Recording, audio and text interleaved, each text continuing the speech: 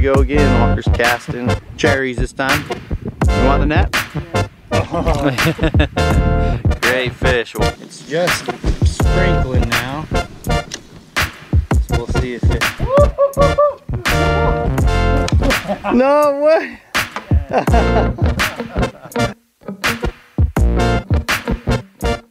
Good morning, everybody. We are uh, getting a little bit of a late start. We had dreams and aspirations of waking up early, hitting the top water bite because when we left the lake last night, it was glass. I'm sure you guys saw it. Oh, by the way, if you haven't seen day one of this whole series, go back and watch day one because this is a three day uh, fishing series, so check that out. But anyways, back to the story. The water was glass. Let me show you what we're working with now. All right, see what we got going on. The wind came in last night. There's white caps on the lake today. I'm not the fishing expert. I don't know if that's gonna be good or bad for fishing. Walker? Could could be good, but it's gonna be harder to fish, control the boat and stuff. But I'm hoping we can find a bay, maybe hide out in it and fish around. Here we go. Gonna weather the storm. And Walker kept saying he couldn't believe how nice it was here yesterday because he's never seen it like that. Now I understand why. Yeah, we had had a special day yesterday. Sure. We'll make it the best we can, guys. Ooh.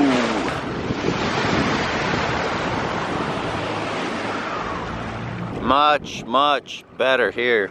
We're out, out of the wind a little bit on this bay. We'll Might see. be good too because the well, current of the waves is gonna come over here and hit this point. Mm-hmm. And we actually caught a couple there yesterday. Yeah, we're, uh, this is where we started our day yesterday, so we'll try it again. But funny story about last night, Walker and I, after we ate fit, ate our salmon and ate our dinner, we rested up for a little bit, then got in the canvas cutters, and we are both completely zipped in the canvas cutters. And all of a sudden, I can hear something wrestling around in plastic, and I was just like, "What the heck?" I was like, "Walker, yeah, is that you?" No. Turned the light on real quick, and two raccoons scurried up the hill. So we knew we were in for it, so we got prepared. We, we put everything in the Yeti, put everything in the tote, so we didn't have an issue until we got to the boat. Raccoons came and took over the boat, got into our peanut bag, demolished the place. I know it looks pretty clean now. We spent the morning cleaning it, but they had apples, oranges, peanuts. They had a party last night on the boat. Here we go again, Walker's casting, and I'll be getting camera stuff ready real quick, but here we go, guys. Again, Walker's casting while I'm eating cherries this time. You want the net? Yeah. Oh, It's another three and a half, four.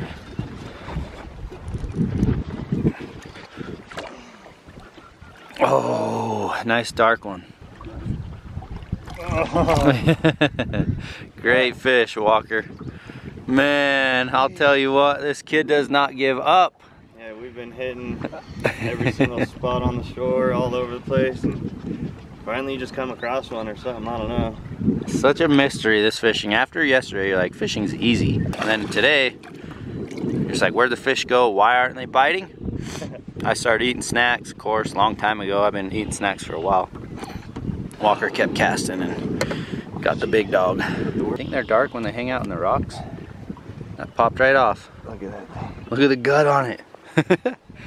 That's a cool fish. I think it's staging just out here on this deeper stuff, and it's gonna come spawn in this bay. There he is, guys. I don't know what he weighed, but nice, fat, healthy bass. Let's get it recovered and back in. A little scar on the top of that one, huh? Yeah, look at that. Look what that's from. Gee, he's just filling the belly on these things. I know, big old bellies. There she goes. Good Well. job. Way to stay First Persistent. fish of the day. Got the skunk out of the boat finally. We just fished this entire bay with nothing. Got right here to where the, the wind's kind of breaking. And Walker slammed that one. Just for reference, it's 10.30. Caught our first fish of the day. Day number two at 10.30. And uh, Walker, I'm sure will waste no time to get back out there. Again, fish number two. Oh yeah. Another good one. Another good one. Another net fish. Another net fish. camera net duties.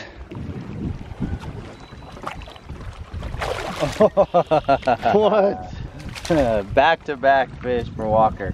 That's how it's been. He literally just got back in the water. Like what, first or second cast? second cast. Dude, this is the prettiest fish we've caught on this trip, guys. that's been the whole trip. That. We get the coolest. This is like a tiger bass.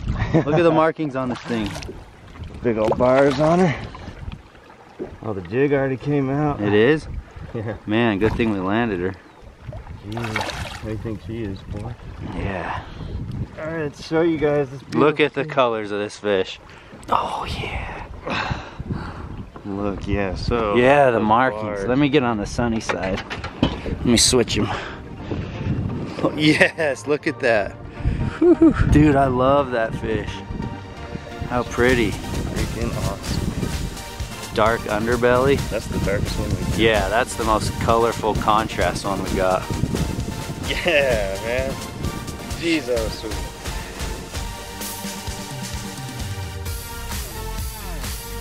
All right, guys. There's our second fish of the day. Just let her go. I think we're onto something. Just keep throwing these jigs on these rocks, but it's like it's been the whole trip. I mean, we find one and then we'll catch a couple in that same spot. Then it's just like a dead spot. That fish was right at four pounds on the dot, but one of the prettiest fish, if not the prettiest fish of this trip. A lot of contrast, a lot of markings. And I didn't even have time in between the, the, those two fish to get my rod in the water. So I better hurry up, try to catch myself something. Oh yeah. Eric's hooked up. Uh-oh. Uh-oh. Get him, Walker. Oh, jeez. yeah. Walker, thanks for the save. I, I could tell he was barely hooked. Holy crap. We're good. Check it out, guys. Yeah. Finally got me a bass today on day number two. Really dark, like not a lot of markings like those ones you caught. Dark belly, but that was a really cool strike. Like I kind of second guessed myself, I'm not gonna lie. I set the hook, but then was like, oh yeah, that's a fish. Uh, we were doing some pictures uh, of him in the water, some still photos, and he boogied out of there. so he kind of flipped out of my hand. Thanks for letting me sit on the front of the boat, Walker. Yeah. It was literally about that same distance from the bank where Walker got his two. So, like Walker said, we're we're on to something good here. It's too bad the GoPro is out of memory, guys. I so badly need to get a big mini SD card for that thing. So we're sticking with the vlog camera. All right, guys, I'm gonna show you what we're doing and how we're catching these fish. What we got on is just these, just a bass jig. This is a Rippin' Lips jig, the craw trailer.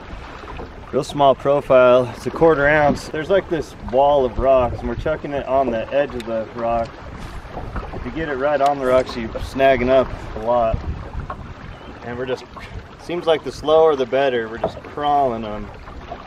Not real aggressive and you'll just feel them bump, suck it up in their mouth, and just hit them with the hook set, and it's it's on, baby.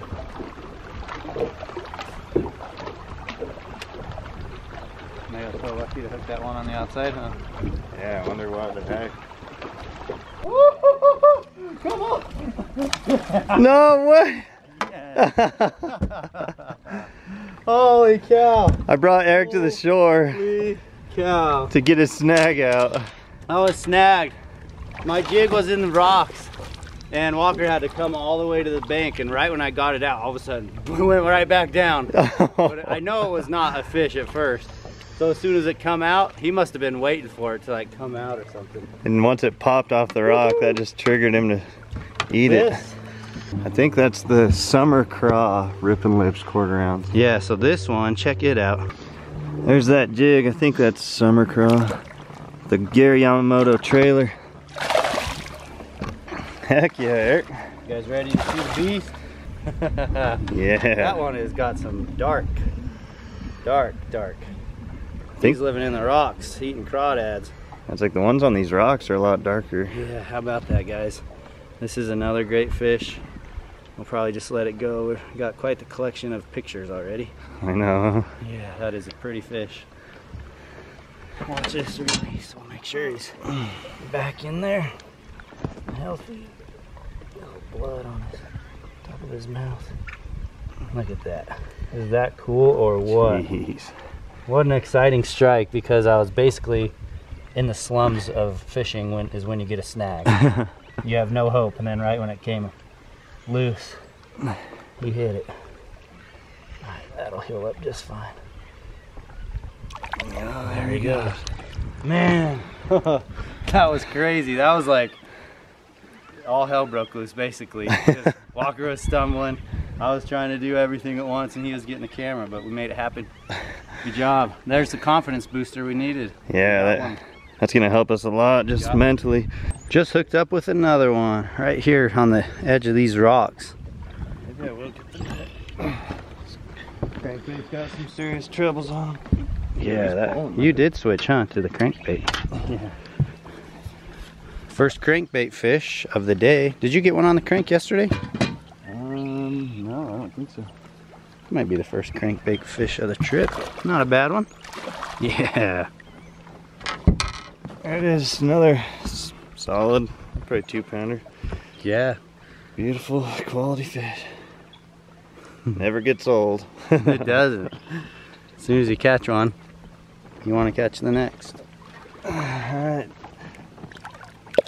Oh, she's gone. See ya. Sweet. and So how are you fishing that? Just Um, Eric popped, like you said, your jig got snagged and you popped it off. Which is usually like in a reaction by a fish. Didn't want it at first, but once it, you know, jumped out, it reacted and hit it. So I thought of using more of a reaction type bait, like a crank. You can cover more water. So just digging down there on the rocks, and it probably um, just sees it coming by and has to react. You know, It's, Mhm. do I want to eat it? Do I don't? Boom. Well, it's 12:45 now, so we're gonna call it for the morning fishing. We caught, I think, four or five, but they're all really good ones, um, or at least better than average. So not complaining at all, but we just bailed out of camp this morning. We didn't eat anything, so we're gonna go to camp, relax a little bit, strike up the camp chef, and uh, cook some bacon and eggs. Hopefully, since this morning was a little slow, the evening will pick up. We'll have uh, fingers crossed for that.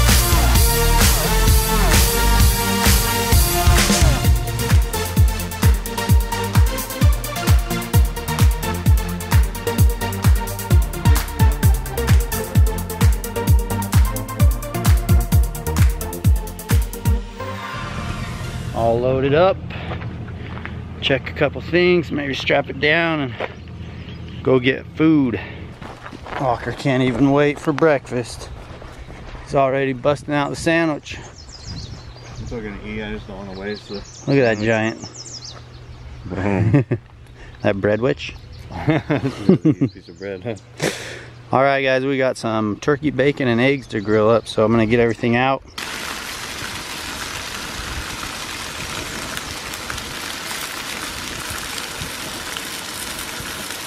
Does that look good or what? We have some turkey bacon, like some thick, thick stuff. Well, at least thick for turkey bacon. And then we're doing peppers. Then after that, this stuff is done, I'm gonna throw some eggs on there. So keeping it healthy for that 90 day challenge. If anybody who's followed us, I'm sure you already know that uh, we're committed to the Mountain Ops 90 day challenge. And I think we will have five weeks left after this weekend's over, which is crazy. Walker's not on that 90 day life. Sandwich and bread all day, man. Yeah, he has got a hoagie sandwich or whatever you call them, like two feet long when he got here. He's still working on it. this is Walker's. That's four eggs. Let those sit on that side, and then we each get three turkey bacons and some peppers. So this is all about the health. Health is wealth, guys. not fish, not big bucks and antlers.